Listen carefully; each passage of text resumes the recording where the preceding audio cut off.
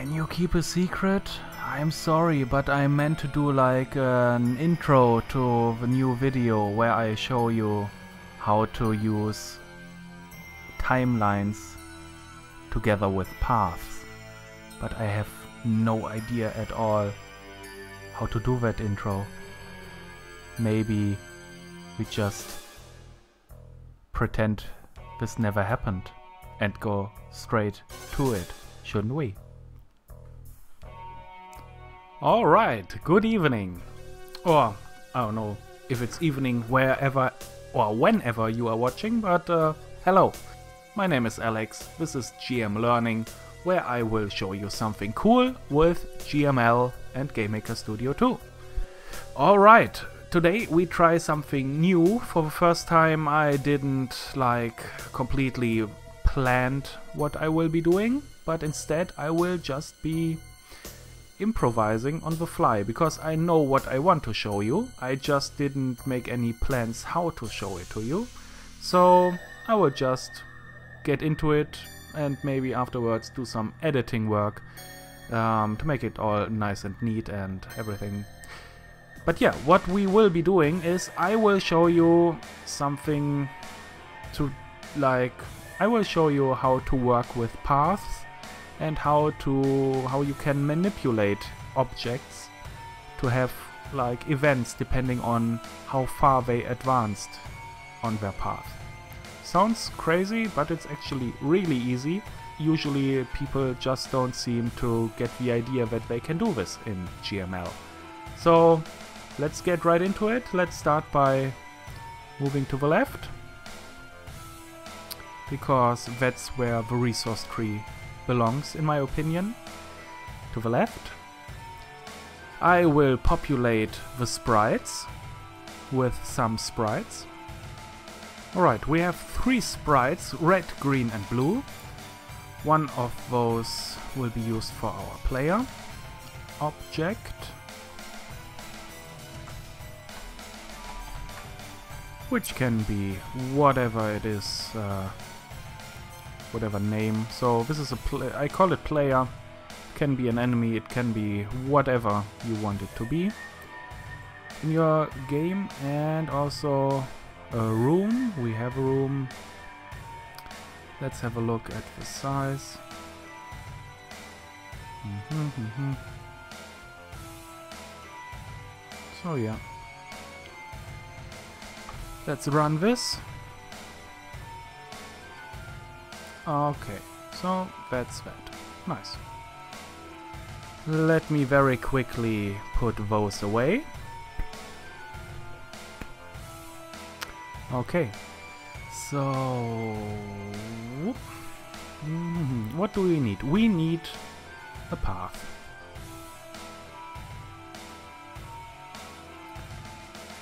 Just some random path.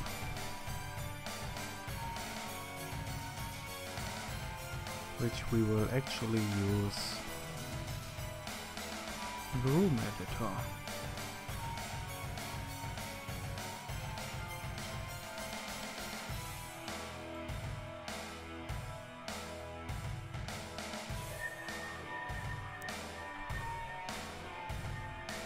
because I usually find it easier to draw a path in the actual room editor so you know what's happening. Hmm. Hmm. Why not? And yeah, let's go back. So this is our path. Let's close it. Should we close it? We don't close it now we will just work with it like this let's give it a name p mm, pth way it's the way to go okay and what we will actually need is a timeline so we name this TL path. Loop. So the player.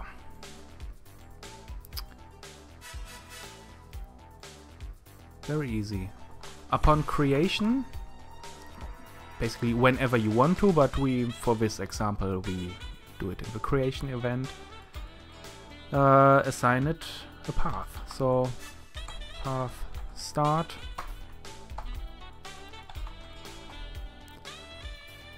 Path way. speed let's make it 4 pixels and action mm, let's just make it stop. For simplicity's sake. And absolute absolutely at least for this example. So this assigned to the create event hmm, let's put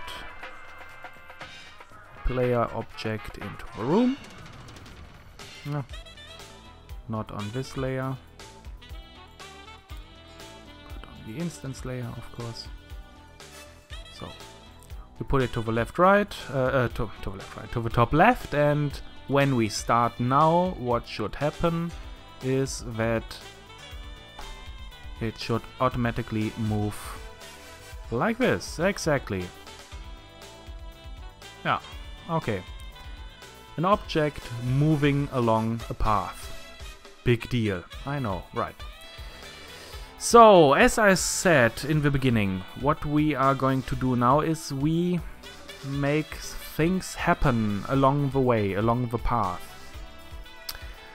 Um, so, in case you didn't know or knew,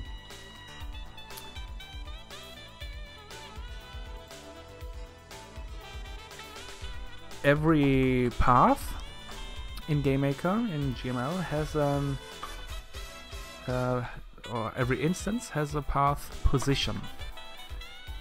So every instance that has a path assigned to it has an has a position, and this is either zero at the beginning, and it's one at the end. So keeping this in mind in the step event, while we are moving along this path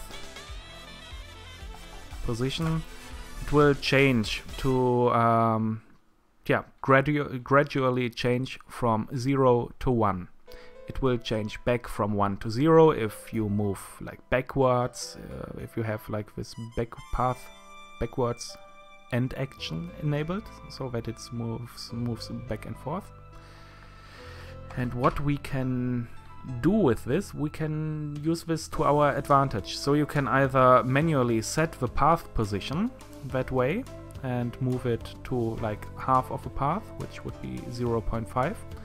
But we can also get the path position from this. And what we can also do is we can assign a timeline to the instance. But instead of having the timeline advance by time, you know, like one step every step. We actually use the path position to advance the timeline. Pretty damn easy, as I said, but uh, cool nevertheless. So, timeline index for this instance is TL path. However, in order to make this not uh, run automatically, we set the speed to zero.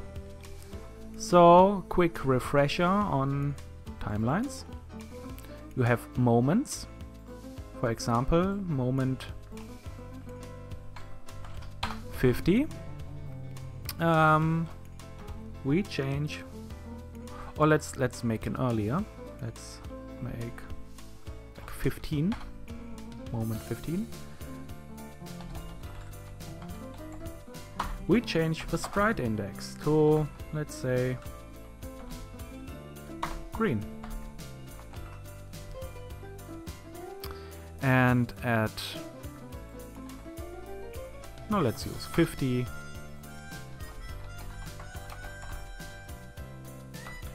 What am I doing? No, not image. sprite index. We change to sprite uh, red, back to red, and then again at like 60 change. Yet again, I can't type today. Sprite index. Uh, what didn't we have yet?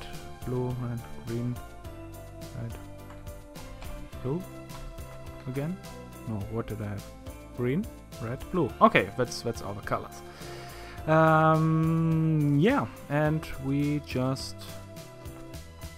duplicate this and set it to green again at 75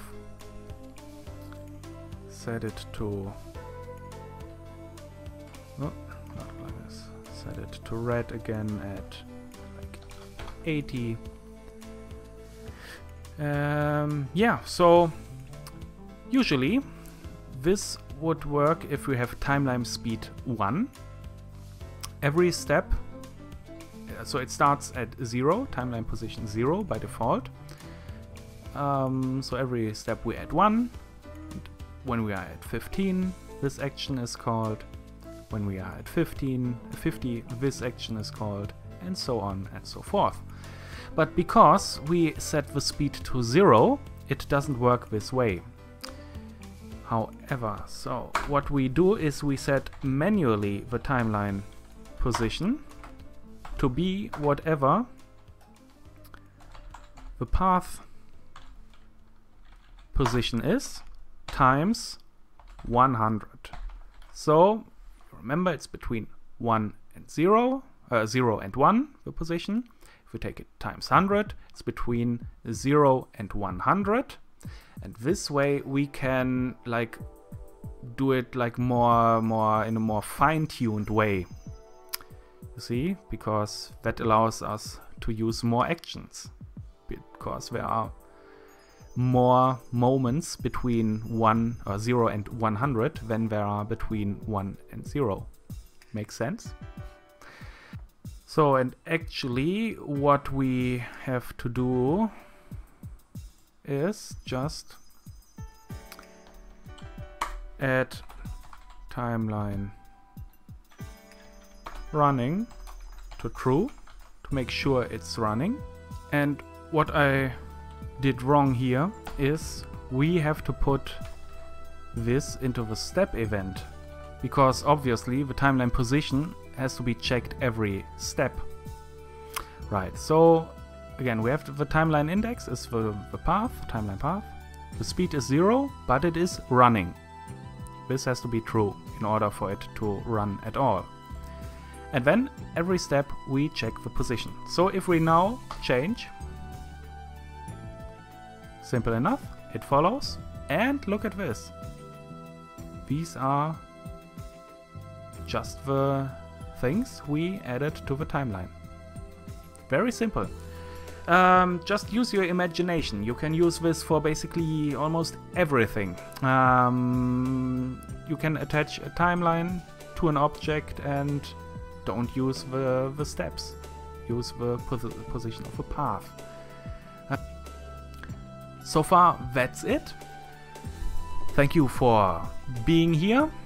If you think this video helped you, then please leave a like and even more than leaving a like, please subscribe. If you however think this tutorial totally sucked, then drop a dislike, punish me. In any case, just do something awesome with GameMaker Studio 2. Like, live out the dream, be creative, and create, do something awesome. I hope I helped you just a little bit more by showing you this little approach. So far, take care. Bye bye.